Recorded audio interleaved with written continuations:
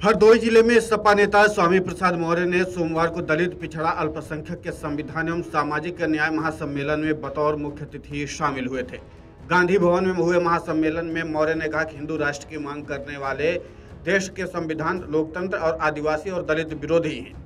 इससे पूर्व कार्यक्रम में जाते समय हिंदू जागरण मंच के पदाधिकारियों और कार्यकर्ताओं ने उन्हें काले झंडे दिखाए थे और क्या कुछ कहा, इस पूरे मामले को लेकर के स्वामी प्रसाद मौर्य ने सबसे पहले उन्हीं की जुबानी सुन लीजिए। ब्राह्मण स्वयंभू है। और कैसा स्वयंभू है?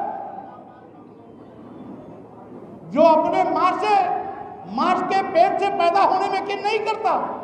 वो कहता है, हम ब्रह्मा के मुँह से पैदा हुए हैं।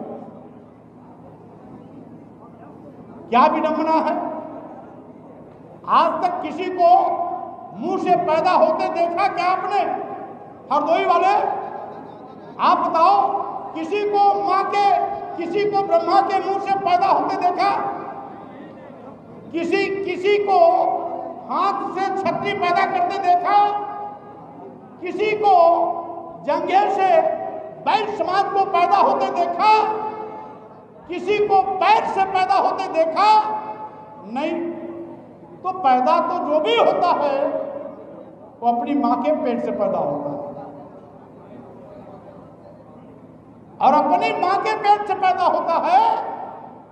वो चाहे भारत हो, लंका हो, चीन हो, थाईलैंड हो, जापान हो, अमेरिका हो, अफ्रीका हो, यूरोप हो, रूस हो, या कोई भी देश हो, हर जगह बच्चा पैदा होने की प्रक्रिया एक है।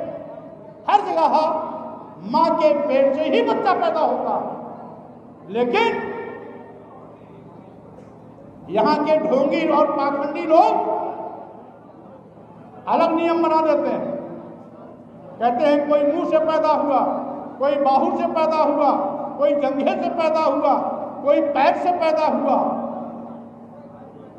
लगता है, ब्रह्मा के शरीर में चार चार जगह पैदा होने वाली अलग से कोई अंग बना दिया गया था, जिससे कि जहाँ चाहते थे, वहाँ से बच्चा पैदा कर देते मौर्य के निशाने पर हिंदू राष्ट्र के हिमायती और सवर्ण रहे। किसी का नाम लिए बिना उन्होंने कहा कि जिसको तुम हिंदू राष्ट्र बोलते हो, वो भारत राष्ट्र शापित है। ये भारत कभी नहीं हिंदू राष्ट्र था और न ही कभी रहेगा। इसलिए हिंदू राष्ट्र की मांग करने वाले देश विरोधी हैं। खुद को सनातनी बताते हुए कहा कि जाति पाति पहले भी था और आगे भी रहेगी। कहा कि पृथ्वी सूर्य के चारों चक्कर लगाती है, ये सनातन है। हवा, जल व आग जीवन देते हैं यह सनातन है। लेकिन जिस तरीके का दावा आप लोगों की तरफ़ से किया जा रहा है, वो सरासर गलत है। Video desk Amar Ujala dot com. Amar Ujala, अब आपके टीवी पर भी। अपने स्मार्ट टीवी पर यूट्यूब पर सर्च करें अमर उजाला। चैनल सब्सक्राइब करें और देखें ताज़ा खबरें। वो भी HD क्वालिटी में। और हाँ बेल आइकन दबाना ना भूलें, ताकि हर खबर हो आपके घर।